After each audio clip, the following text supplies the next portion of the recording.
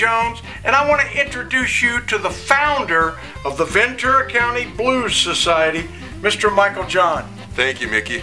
We're here to tell you about the Ventura County Blues Festival, Saturday, April 27th at Moorpark College. This year promises to be bigger and better than ever. We have an all star lineup, including my old friend, the legendary Johnny Rivers. Hey there, I'm Johnny Rivers, and I'll be playing out at the Ventura County Blues Festival. Oh, yeah, Savoy Brown featuring Kim Simmonds. The multi award winner Kenny Neal, and one of my favorite musicians, the rockin' Dona Oxford, queen of the boogie woogie piano. Ventura County Blues Society Band Challenge winner and 2013 International Blues Challenge representative Preston Smith and the Crocodiles. And I might add, a little group called Michael John and the Bottom Line.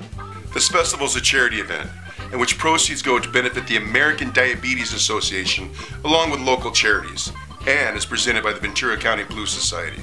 In addition to all day live entertainment, there'll be a silent auction, food and craft booths, and a kids area, truly making this a family event. There'll be an opportunity drawing in which you can win a brand new Fender electric guitar signed by all the performing artists. And don't forget that beautiful white Fender guitar signed by Johnny Rivers for a silent auction. Hey man, you might even win this guitar. Now the gates open at 10 a.m., the music starts at 11, and you won't be disappointed.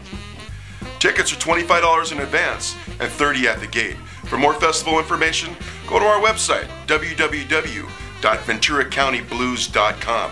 Purchase your tickets today. We'll, see, you there.